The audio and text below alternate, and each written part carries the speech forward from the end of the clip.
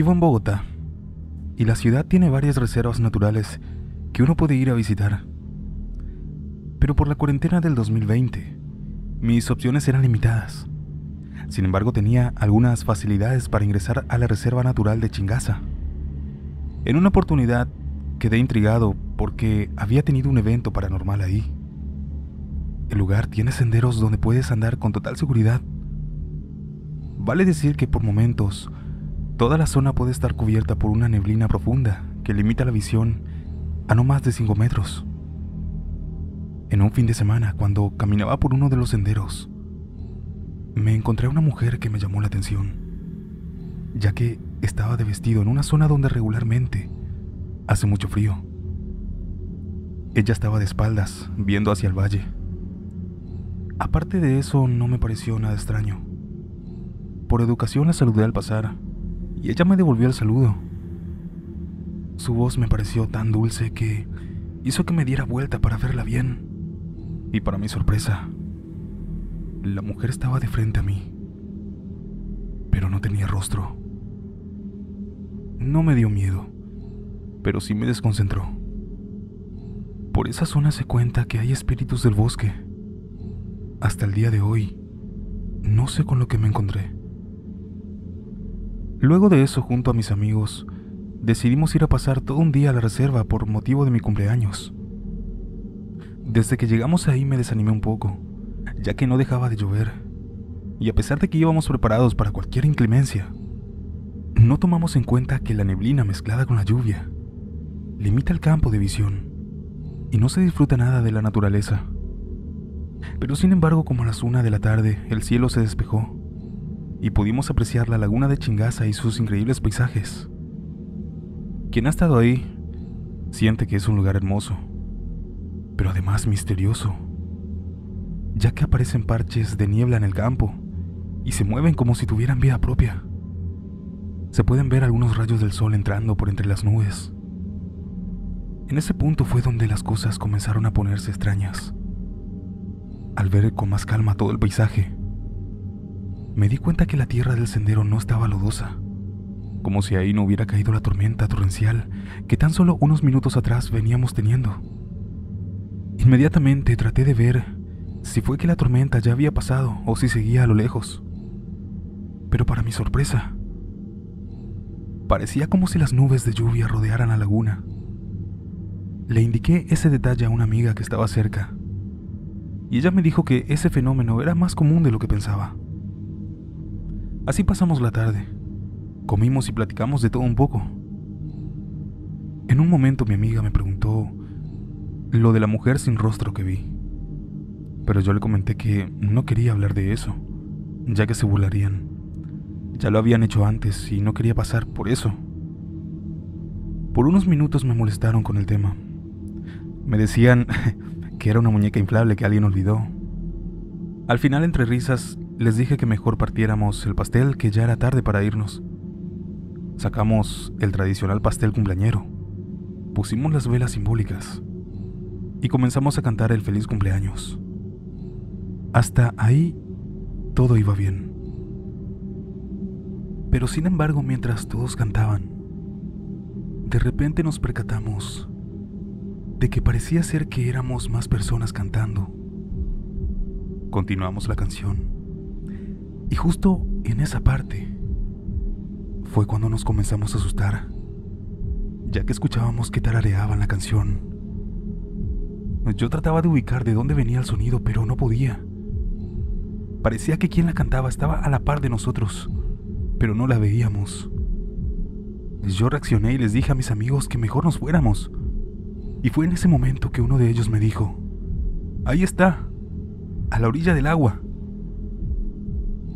Y sí, era la figura de una mujer con vestido negro. No sentí miedo. Más bien fue como un sentimiento de ver a un conocido que se ha ausentado por mucho tiempo. Solo mi amigo y yo la pudimos ver. Pero todos escuchamos el tarareo como si estuviera ahí con nosotros. Eso causó que las chicas se pusieran incómodas y nos apresuramos a salir lo más rápido de la reserva y regresar a Bogotá.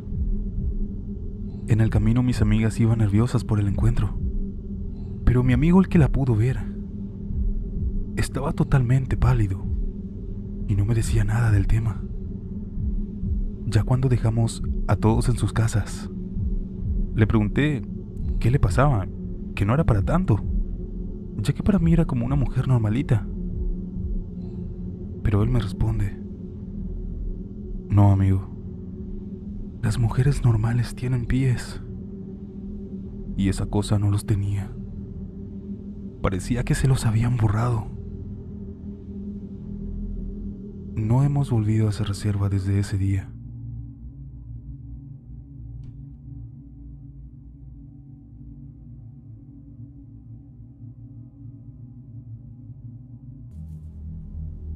Esta historia es de mi padre. Le sucedió cuando él era solo un niño. En ese entonces vivía en El Salvador. Era una noche de niebla cuando él y sus dos tíos, Miguel y Carlos, iban al agua a pescar y acampar. Carlos había llevado un arma con él, ya que siempre era bueno tener algún tipo de protección cuando iban al bosque. Esa noche cuando el lago estaba tranquilo y la noche muy silenciosa, comenzaron a escuchar en un momento unos ruidos. Era el sonido obvio de una mujer sollozando. Miguel y Carlos comenzaron a recoger sus cosas rápidamente y mi papá les preguntó qué estaba pasando. Ellos le dijeron entonces que era la llorona, que cuando escuchas una mujer llorando en el medio de la noche, en el bosque y cerca de algún río, es mejor esconderse. Comenzaron a juntar sus cosas, pero en ese momento los sollozos comenzaban a acercar a ellos. Pero se escuchaba que venían del lago. Eso era imposible. Que una mujer estuviera en el agua nadando hacia ellos, sin que se escuchara el chapoteo ni nada moverse. Eso era aterrador. Entonces le dijeron a mi papá que se agachara y que se escondiera para que no lo vieran. Y segundos después, Carlos disparó el rifle. Mi papá estaba horrorizado, pero lograron salir e irse en su auto. Se alejaron rápidamente y el sonido del llanto se perdió en la lejanía. Luego de eso sus tíos le explicaron que cuando uno escucha el llanto y hay algún niño cerca, debes de esconderlo de inmediato y sacarlo rápidamente. Porque si ella lo ve, por ley, se lo llevará para siempre.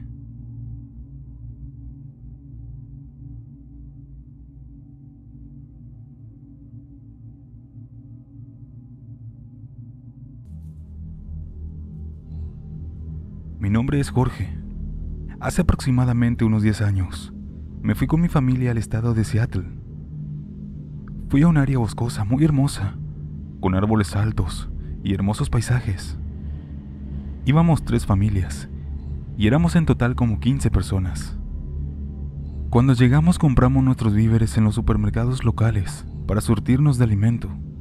Ya luego de eso, entramos al bosque Encontramos un espacio excelente con un lago enfrente. La verdad, era muy hermoso. Estuvimos un buen tiempo ahí. Un día después nos tocó regresar a la carretera para irnos a los supermercados que estaban cerca. Y ya cuando volvimos, cerca de la entrada de nuestros campamentos, estaba un señor parado de traje. Eso se me hizo muy raro. O sea, ¿cómo estás en el medio del bosque de traje? Nos bajamos y me llamó la atención que era ya un señor mayor. Era barbudo, lo recuerdo. Pero era un señor impecable. Y yo decía, ¿cómo le hace para estar aquí en el bosque y sin ensuciarse? Le preguntamos entonces si se le ofrecía algo, si lo podíamos ayudar. Lo vimos muy desesperado. Cuando nos habló, noté que tenía un acento raro como de Europa del Este. Nos dijo que necesitaba ayuda y que estaba desesperado, ya que había una persona con él en su cabaña, que estaba muy grave y que necesitaba ayuda. Entonces nosotros nos fuimos. Fui con mi amigo y nos metimos al bosque. Es urgente porque esta persona se puede morir, nos decía, y lo fuimos siguiendo. Pero a mí me sorprendió lo rápido que caminaba. Caminaba muy rápido. Nosotros teníamos que acelerar el paso para no perderlo de vista. Y más que habían muchos árboles. Íbamos caminando y le preguntamos si faltaba mucho, ya que llevábamos casi 10 minutos de camino. Pero él seguía caminando y no nos decía nada. Pasaron otros 10 minutos y la verdad que teníamos miedo de perdernos, pues no conocíamos esos sectores. Llegó un momento en el que le dije a mi amigo que se detuviera y que habláramos con ese hombre. Así que le dije, oiga señor, sabe que estamos analizando que mejor nos vamos a regresar y vamos a llamar a un guardabosques para que asista a esa persona, porque nosotros no somos médicos. Será mejor que venga gente capacitada para poder asistir a su amigo. Después de decirle eso, ese señor se giró y nos miró con una expresión de odio y nos empezó a gritar que no, que era algo urgente y que ni siquiera se nos ocurra irnos. Nosotros nos quedamos, pero impresionados con lo soberbio de este hombre. Y él nos seguía diciendo que teníamos que ir con él, que no nos podíamos volver ya que esa persona estaba en peligro y que por nada del mundo se nos ocurra irnos. Eso ya era algo que no podíamos tolerar. Así que decidimos de inmediato volvernos. Y solo le dije, ¿sabe, Don? Vamos a regresarnos. No podemos ayudar en nada. Tiene que venir alguien capacitado para asistir a su amigo. Inmediatamente dimos la vuelta y nos regresamos, corriendo. Ya teníamos casi media hora de camino. Y la verdad, por el temor, le pregunté a mi amigo si sabía cómo regresar. Me dijo que sí, pero sin embargo, el camino de regreso se nos hizo larguísimo. Y aparte, del miedo que teníamos, no queríamos mirar hacia atrás para ver si venía ese señor. Pero sabíamos que estaba tras nuestro. Podíamos escuchar las pisadas en las hojas. Afortunadamente llegamos a la carretera donde estaban nuestras tiendas. Procedimos a llamar a los guardabosques. Momentos después llegaron y entraron al bosque. Recorrieron el perímetro por millas, aproximadamente unas 10 a la redonda, pero no encontraron a ningún señor. Buscaron y buscaron una cabaña, pero nada. No había ni un señor de traje, ni una persona herida ni un campamento. La verdad, pues nos preguntamos, ¿quién era ese señor trajeado e impecable? Además de su edad, tenía una manera de caminar muy rápida, pero sobre todo, la manera tan furiosa en que nos contestó y nos obligó a que no nos fuéramos. ¿Quién habrá sido ese señor?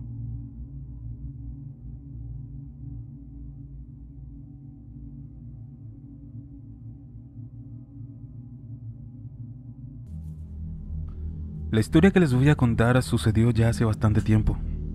Aquella fue la primera vez que tuve un acercamiento a lo paranormal. O al menos no supimos cómo explicar lo que sucedió. Junto a un grupo de amigos, decidimos ir a acampar por primera vez a un lugar fuera de la Ciudad de México, precisamente al estado de Veracruz. Hicimos las maletas y partimos rumbo a Salapa.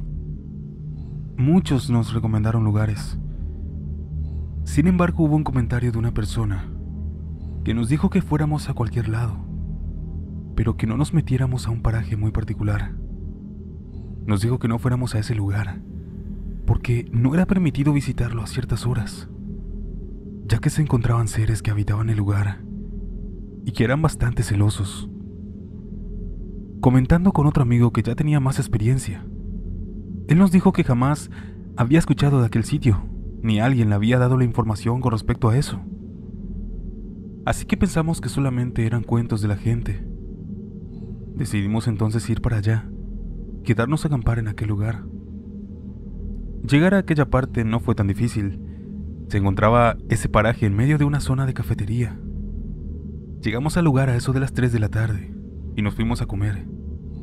La gente del lugar, al vernos con mochilas y casas de campaña, nos dijeron que había lugares donde podíamos acampar.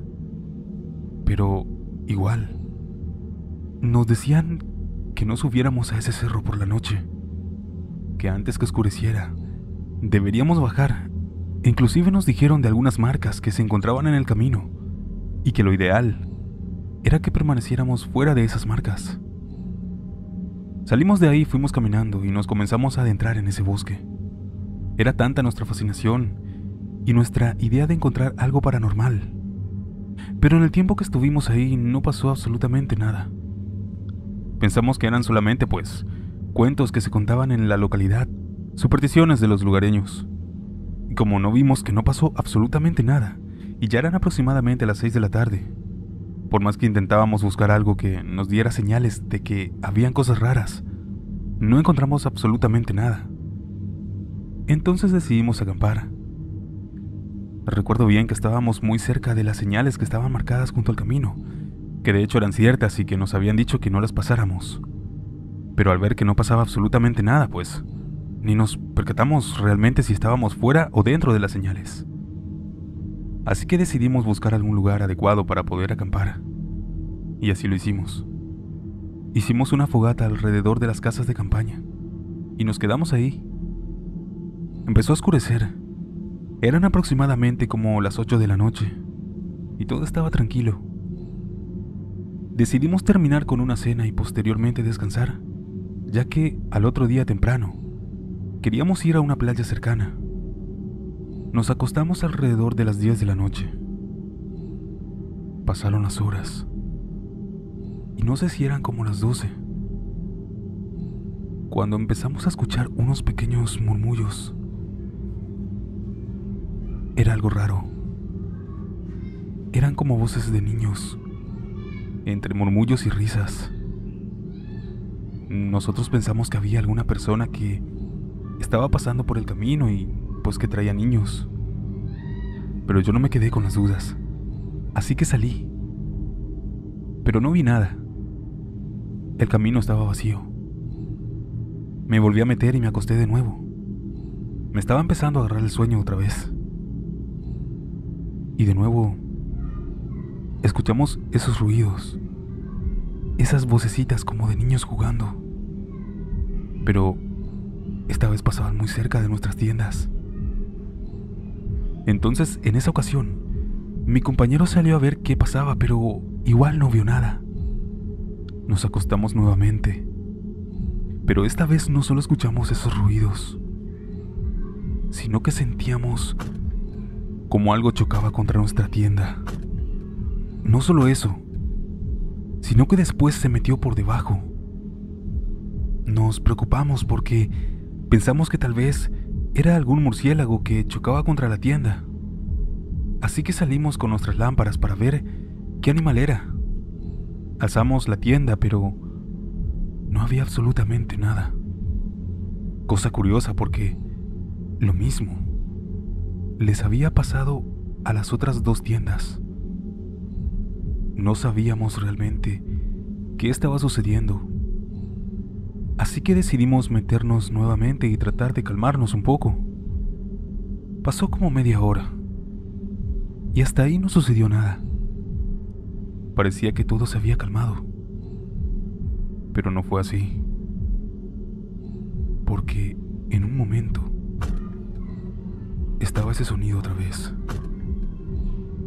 Pero ahora se escuchaba como si estuvieran unos gatos peleándose y que pasaban entre las hojas y las ramas de los árboles. Y de nuevo, escuchábamos como algo chocaba contra nuestra tienda. Todos salimos asustados y decidimos quedarnos afuera. Hicimos la fogata nuevamente para ver qué era lo que estaba pasando. Tal vez era algún tipo de animal que chocaba al volar contra nuestra tienda. Así que nos quedamos afuera. Pero fue un grave error porque empezamos a escuchar nuevamente esos sonidos. Pero lo peor fue que lo escuchábamos como si estuvieran a un lado de nosotros y pasaban entre los arbustos. Fue algo muy aterrador. Así que todos decidimos meternos en una sola tienda. Y seguíamos escuchando cómo nos aventaban cosas. Y así estuvimos hasta que amaneció. No dormimos absolutamente nada. Cuando el sol salió dejamos de escuchar aquellos ruidos. Inmediatamente decidimos levantar el campamento y retirarnos de ahí. Cuando ya íbamos bajando por el cerro, nos encontramos con un señor que se nos quedó viendo y nos dijo si estábamos bien, ya que estábamos en ese lugar donde no podíamos estar de noche. Y nos comentó que en ese lugar habitan criaturas del bosque y que muchos han intentado quedarse a acampar y muchas veces ya no vuelven a bajar más y se pierden en el bosque. La verdad, pues cuando nos dijo eso, nos quedamos sin palabras. Y lo único que pensamos era en salir de allí. Bajamos como pudimos. Ni siquiera a la playa nos fuimos. Nos quedamos en el centro de ese poblado. Y luego decidimos mejor retirarnos de ese lugar.